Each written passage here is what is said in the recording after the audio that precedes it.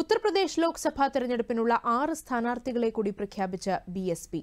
ഇതിനു പുറമെ നിയമസഭാ തെരഞ്ഞെടുപ്പ് നടക്കുന്ന ഒരു മണ്ഡലത്തിലും കൂടി സ്ഥാനാർത്ഥിയെ പ്രഖ്യാപിച്ചിട്ടുണ്ട്.